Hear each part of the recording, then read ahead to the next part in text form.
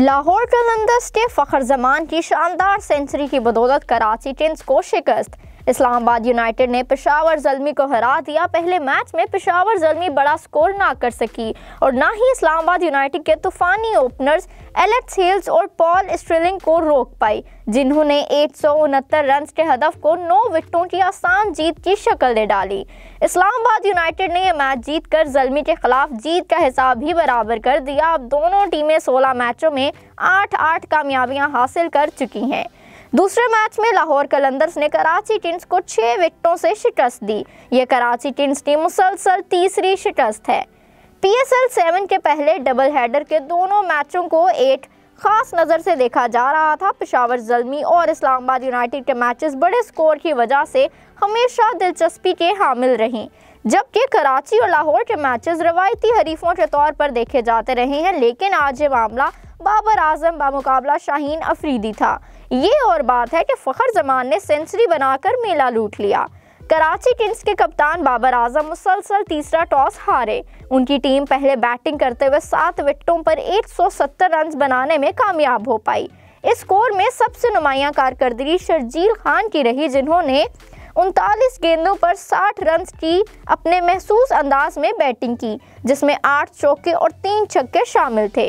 शर्जील खान को 22 के स्कोर पर राशिद खान की पहली ही गेंद पर एम्पायर माइकल गिफ ने एलबीडब्ल्यू दे दिया, लेकिन रिव्यू पर यह फैसला शर्जील खान के हक में गया, जिस पर राशिद खान और दीगर खिलाड़ी हैरान थे। शर्जील खान जब आउट हुए तो कराची किंग्स का स्कोर चौरासी रन था। उनके आउट होने के बाद रन की रफ्तार थम गई। बाबर आज़म ने 33 गेंदों का सामना करते हुए 41 रन स्कोर किए, जिनमें पाँच चौके शामिल थे।